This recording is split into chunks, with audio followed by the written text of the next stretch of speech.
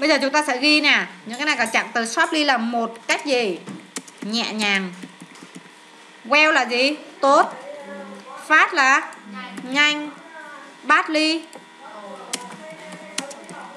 Một cách tệ hại. Hard là gì? Khó hoặc là chăm chỉ. Chăm chỉ.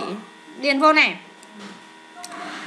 Bà Nga nói tiếng Anh phải không? Đúng vậy, cô ấy nói rất giỏi. Well. Ba luôn luôn đạt điểm tuyệt đối, đạt điểm cao á, giỏi, xuất sắc.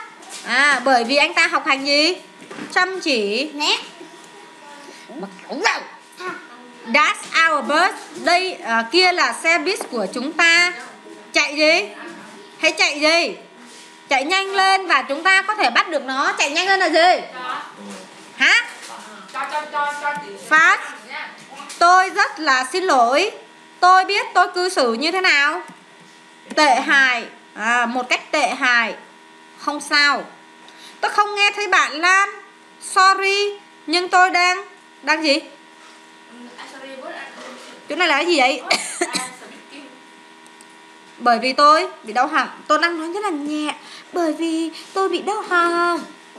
Ok sorry Được chưa? Được con rồi ghi vào rồi lấy sách Mai Lan Hương ra.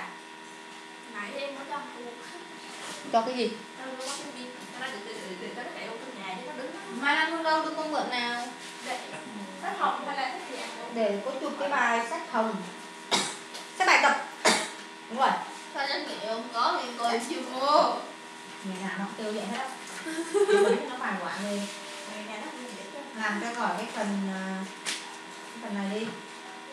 Đâu ta? Cái phần tính từ đây. Làm được bài số 2, số 3 mới về Gì cô? Mày đừng có làm cái gì Đâu rồi? Gì cô này Cái gì cô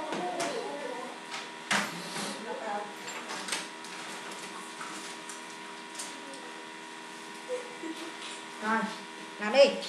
Làm bài số 2 và số 3